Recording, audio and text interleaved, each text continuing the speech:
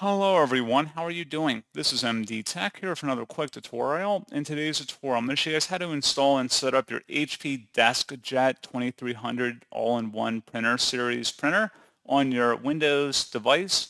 So this should hopefully be a pretty straightforward process here guys, and without further ado, let's go ahead and jump right into it. So all I have to do is open up a web browser, and into Google search, you want to locate or search for HP DeskJet 2300 series drivers. Best results, you come back with a support.php webpage here that says HP DeskJet 2300 all-in-one series uh, software. Go ahead and open that up. And now that we are on this page, you want to locate or just scroll down and select the Easy Start Printer Setup software and the download button for that.